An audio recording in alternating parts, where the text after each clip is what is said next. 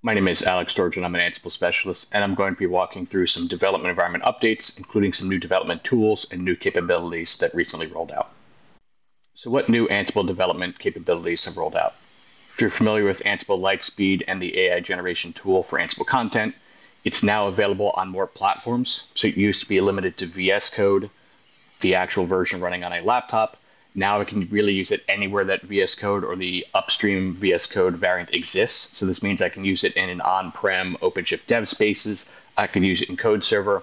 All I have to do is also install the Red Hat authentication extension, and I can use this anywhere that I can deploy any sort of VS Code variant.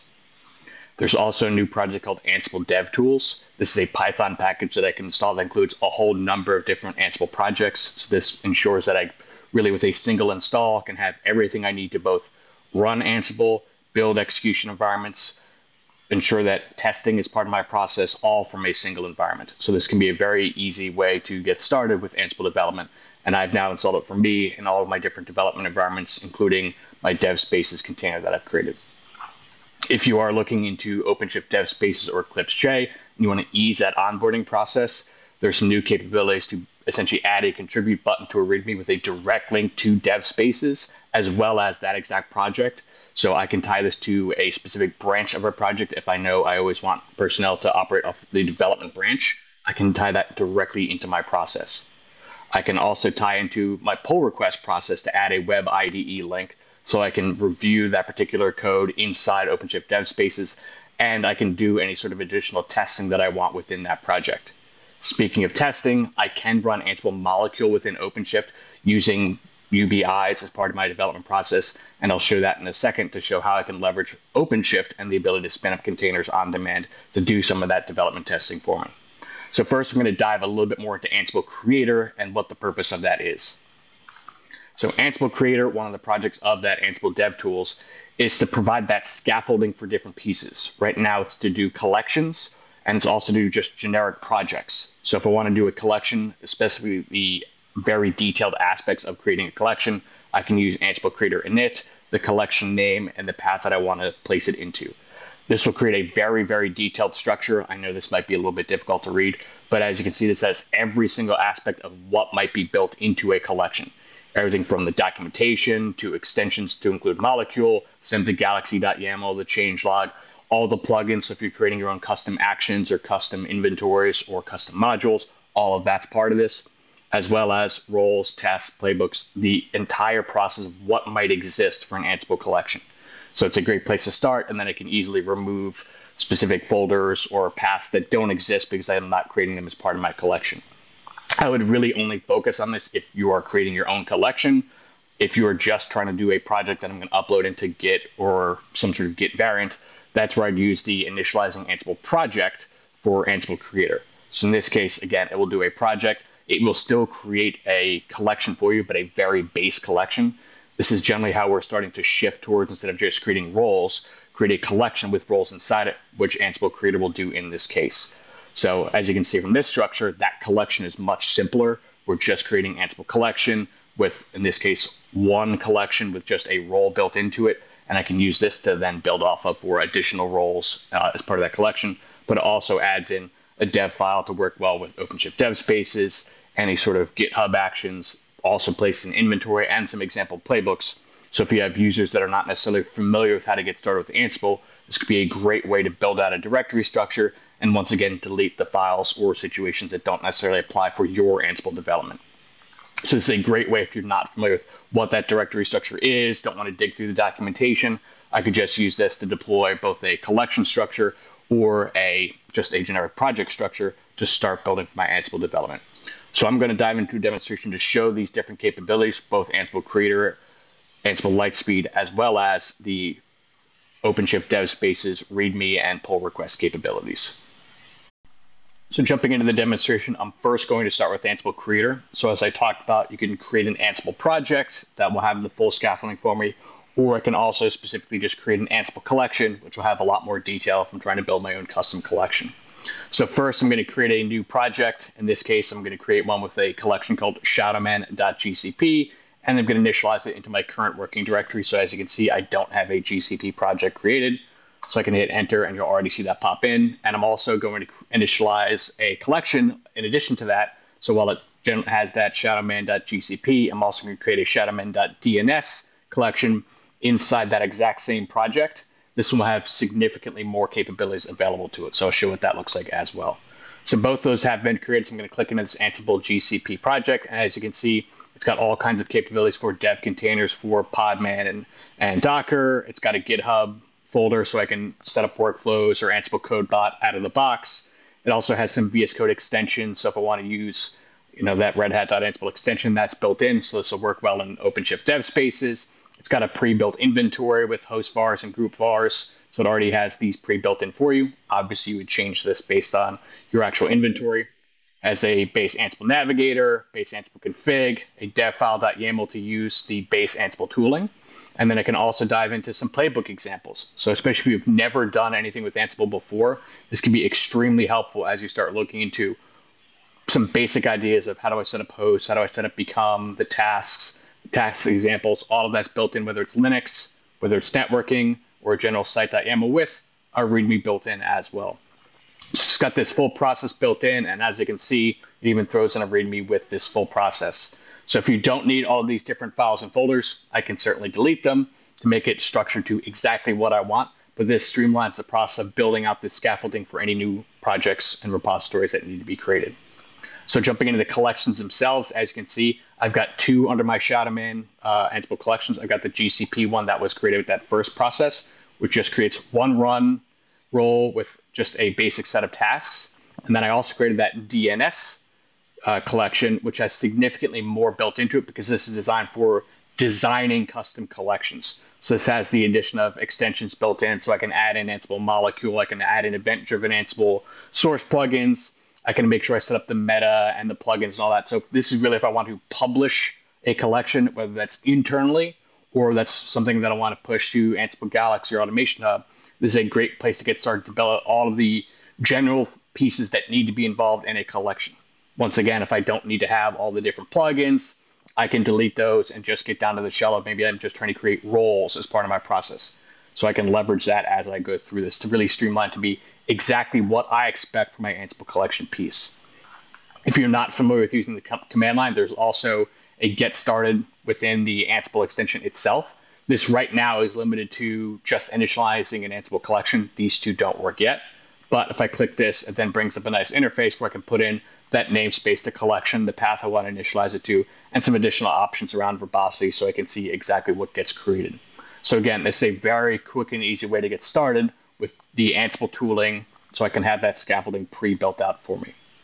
So next, let's jump into some of the dev spaces pieces.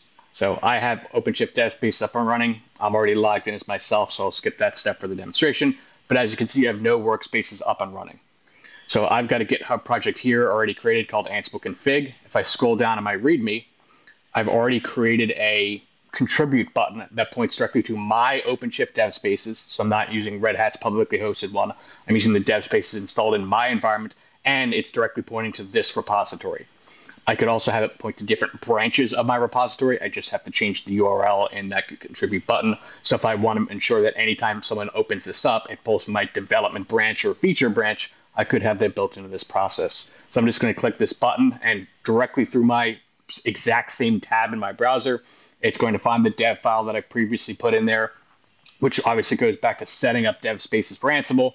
But this will pull in my OpenShift uh, dev spaces EE that I've got set up. So I'll have Ansible lint, and all those Ansible dev tools that I talked about before will be built into this process. So for Lightspeed to work, I did specifically add an extra piece into my process. So I did have to make sure for my VS Code, I had an extra extension in there, in this case called VS Code Red Hat Account.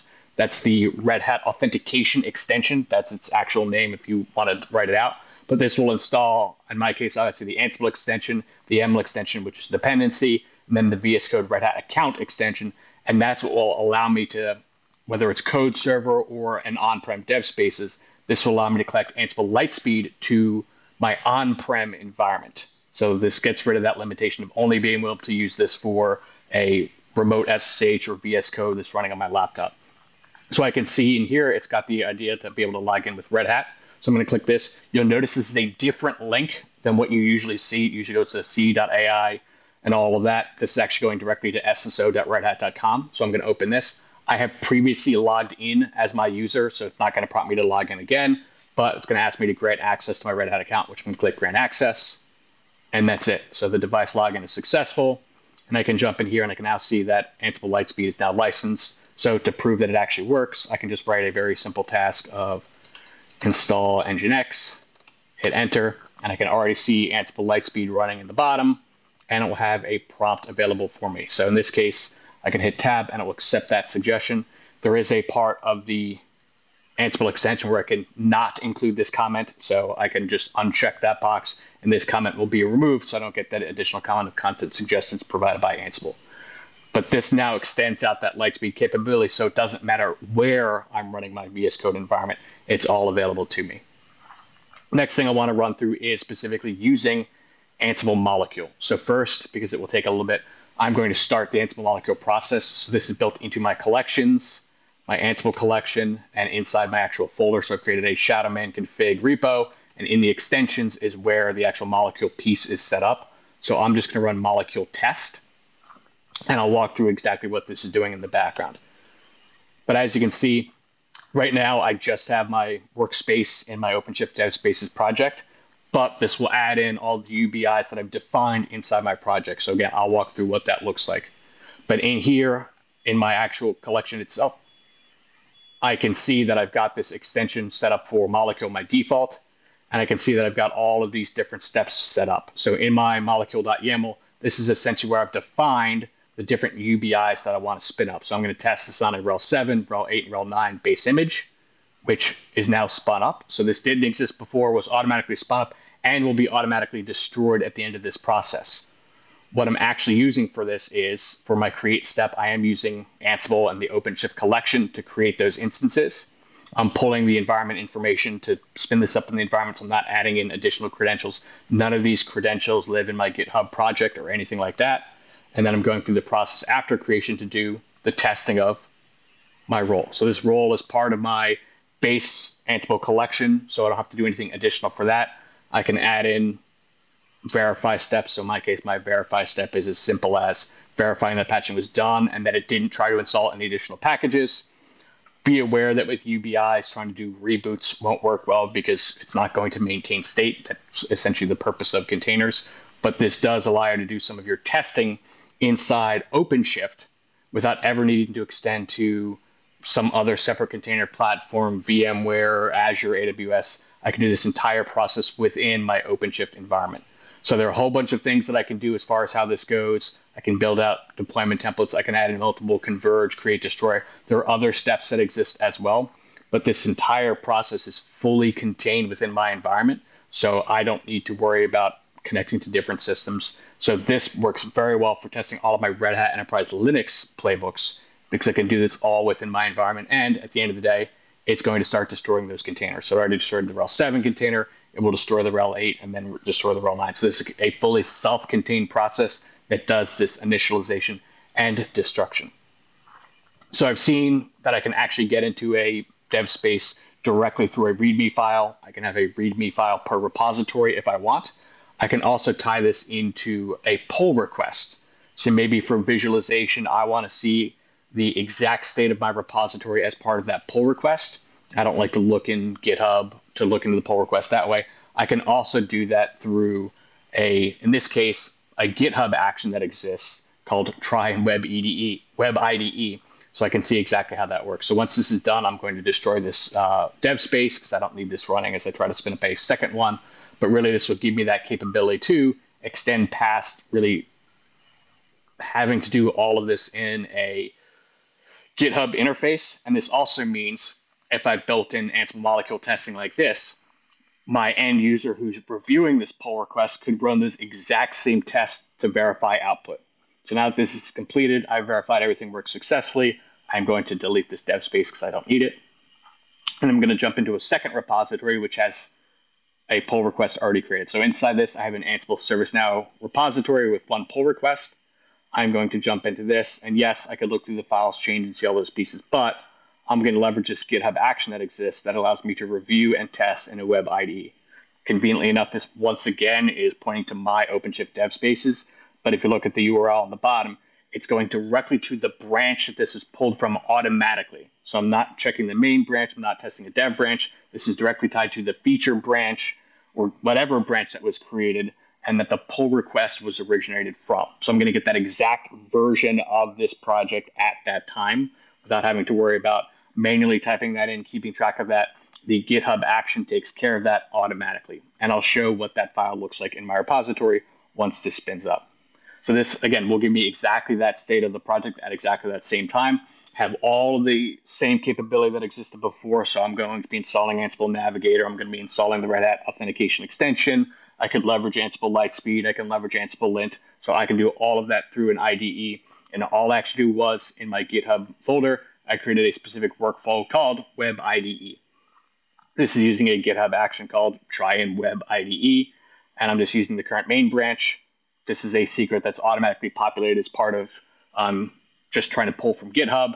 And then I added in the add comment, which is how it showed up in the comment section of the pull request. I added in my specific dev spaces instance, and I wanted the comment badge to look specific. So I wanted it to look, say, OpenShift dev spaces and have a red color. That's really all this comment badge section is doing. So it looks exactly like I wanted to use. And this is pulling from image.shields.io. And if I click that, you actually see that this is the exact image that existed um, in that pull request.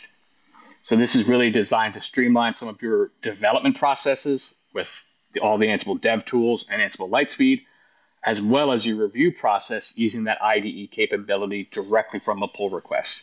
So especially if you're using Ansible to do your development and testing, I can leverage that capability of Ansible Molecule as well as doing the testing directly in here. So I can see is linting working successfully for these different pieces. Well, I can run Ansible lint in here without needing to tie it into a GitHub action, though you can also use Ansible lint within your GitHub workflows. So a lot of different capability depending on what your style and need is for your different development processes. So whether you're just getting started with Ansible development or you've been doing Ansible development for a while, this hopefully gives you a few additional options of tools that you can use or different processes that you can use. And also this should hopefully help you onboard new users into the Ansible development process.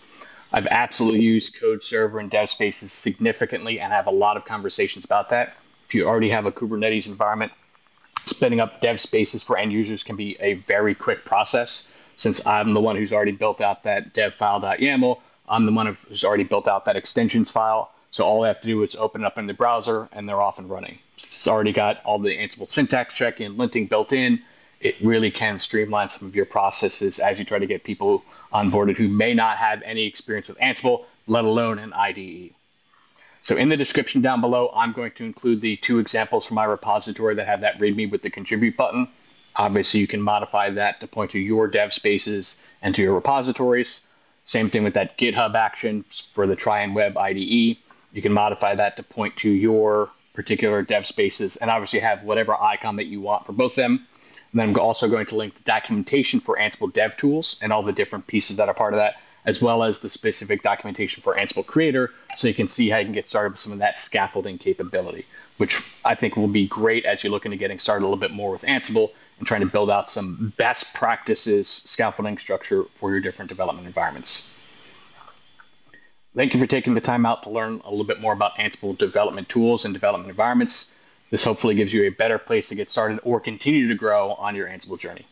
Thank you. Click my picture on the right to subscribe or click the image on the left to watch another video.